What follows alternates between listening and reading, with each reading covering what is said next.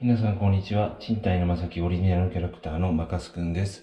本日は奈良市北長井町にございます、セジュール1番館 K という物件に来ております。それでは一緒にお部屋をご覧ください。まずこちらが玄関スペースでございます。ご覧の通り広々とした玄関、そして段差の少ない、えー玄関となっております、えーシューズボックスが備え付けられております。えーシューズボックスの下、上に物を置いていただくことができますので、非常に利便性が高そうでございます。そして、こちら、水回りを見ていきましょう。こちらが、えー脱衣所兼、えー洗面所となっております。えーご覧の通り、ドアはありませんが、カーテンレールがついておりますので、目隠しをすることもできます。そしてこちら、洗濯パンですね。非常に大きなサイズの洗濯パンがついております。ドラム式の洗濯機も置けるのではないでしょうか。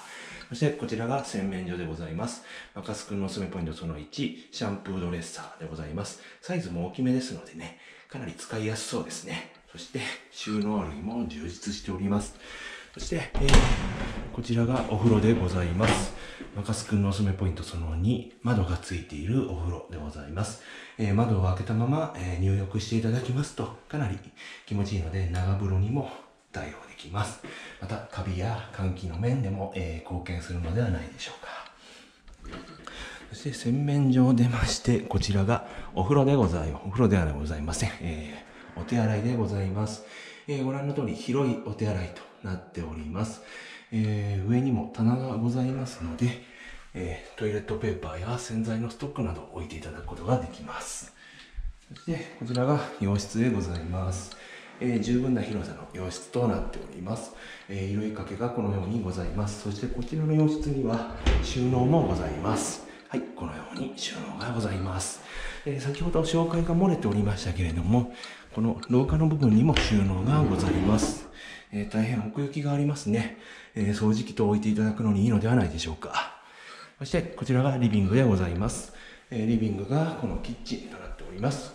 マカスくんのおすすめポイントその3、広い、使いやすいキッチンでございます。このように、えー混合線となっておりますので、温度調整も楽ですね。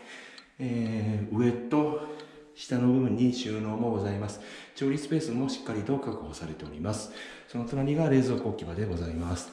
そして、こちらが給湯リモコン、インターホンの受話器となっております。それでは、ベランダを見ていただきましょう。このように十分な広さが確保されております。物干しもこのように3本ですね、物干しをつけていただくことができます。そして最後の洋室、和室をご覧ください。こちらが最後の和室となっております。えーこちらにはこの、えーお部屋の中で一番大きな収納がこちらにございます。えー押し入れですね。奥行き、えー十分にありますし、幅は一見あります。えー大抵のものはここで収まるのではないでしょうか。以上でお部屋の紹介を終わらせていただきます。最後に、マカスくんからお知らせがございます。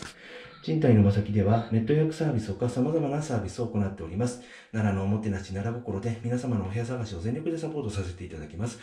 ご予約、ご来店お待ちしております。ご視聴ありがとうございました。